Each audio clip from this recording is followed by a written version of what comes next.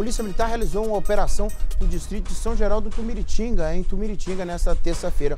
Os militares apreenderam drogas, outros materiais e quatro pessoas né, foram presas. Nós falamos sobre essa operação ontem aqui no Balanço Geral, né? E agora está aqui. A matéria completa aqui no telão, pode balançar.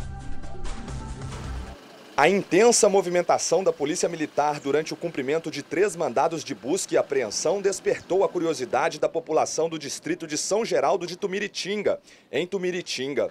A operação policial aconteceu na manhã desta terça-feira. Entre os itens apreendidos, chamou a atenção dos policiais essa pistola calibre 380 com mira a laser.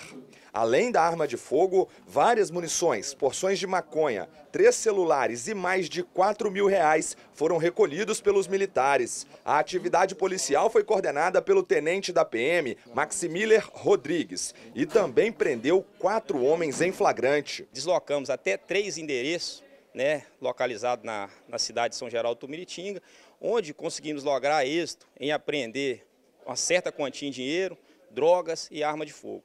Dessa operação resultou quatro pessoas conduzidas, né, na condição de preso e a apreensão, inclusive, de uma motocicleta. Um dos envolvidos aí tentou evadir da guarnição policial, tentou ajudar um, um, um terceiro, né, é, dando fuga para ele. Entretanto, né, os militares aí fizeram um cerco, bloqueio e conseguimos logar eles na prisão de, desse, desse condutor aí e apreensão da motocicleta. Dos quatro suspeitos, três já acumulam passagem pela polícia. O outro havia sido apreendido quando era menor de idade.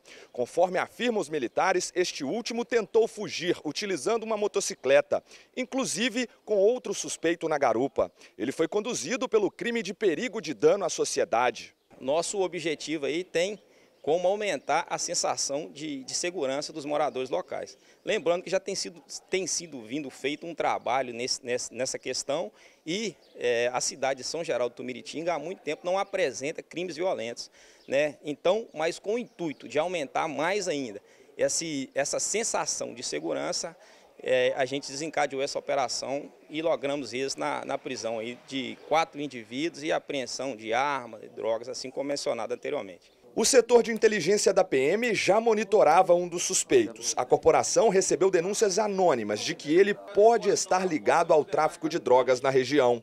Um deles, né, é tido como responsável pelo comércio de, de, drogas aqui na cidade, né? Então, em virtude disso, a gente já tinha, já vinha fazendo um trabalho, né, de levantamento de informação, de monitoramento, né, que acabou culminando nessa operação exitosa.